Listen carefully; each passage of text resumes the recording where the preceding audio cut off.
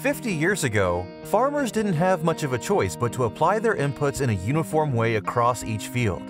The same amount of pesticides, the same amount of fertilizer, and so on. They were limited by the equipment of their time. Today's farmers, however, have an advantage. They have access to technology and equipment that can vary the amount of inputs applied to their land. The ability to vary inputs is essential for efficient crop production because different parts of a field have different needs. This is one of the primary goals of precision farming, matching the application of inputs to the soil. Precision farming technology can work both to the farmer's and the environment's benefit, but only if the farmer has a solid understanding of his or her field and can transfer that knowledge to their machinery. One way this is achieved is by identifying areas called management zones. A management zone can break that field into smaller portions to then help the farmer manage those um, similar soils and similar areas of the field in a, a way that really optimizes the productivity of that crop. Unfortunately, creating these management zones is more complex than it sounds.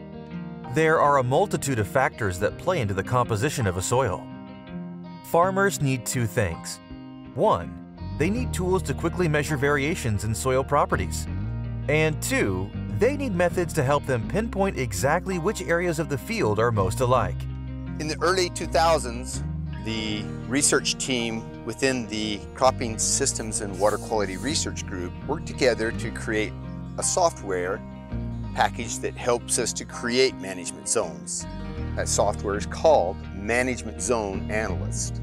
Management Zone Analyst, or MZA, allows farmers to input recent soil and crop information. Then the software mathematically identifies like areas for zone creation.